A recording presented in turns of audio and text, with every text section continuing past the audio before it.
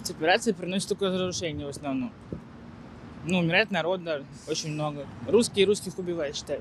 Ну, это разрушение, это убийство. Просто из-за того, чтобы американцам там лишний кусок чего-то досталось. Сложно ответить на этот вопрос. Я там, в общем, в принципе, не был. Вот. Освобождение. Освобождение вот от того, что у них там происходит последние кучу лет. Свобода на Донбассе. Свобода, но сейчас там действия опасные, эвакуация идет. Я сам туда еду через три дня.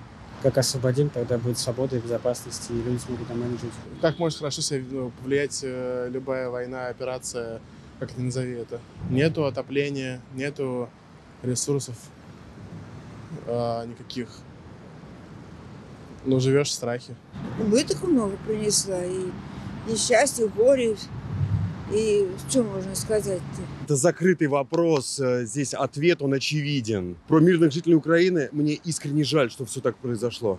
И мне про жителей Донбасса, которых 8 лет бомбили, мне очень жаль. И отвечать опасно в нашей стране. Не знаю, ну зачем это делать. Искренним быть достаточно сложно. Ну, как бы умные и понимающие люди все читают между строк и так. Ну, ничего хорошего. Если бы меня бомбили, то я бы не сказал, что это что-то положительное в моей жизни. Но Путин так хочет. Вот.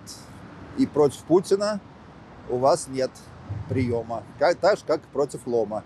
О, я считаю только одну разруху. Везде одна разруха, больше ничего. Я так думаю. И в дальнейшем также будет еще хуже, хуже и хуже. Да я думаю, война ничего хорошего не принесет никому. Никому она не принесла ничего хорошего пока. Да ничего она не принесла. Любая война приносит только беды, где бы она ни проходила.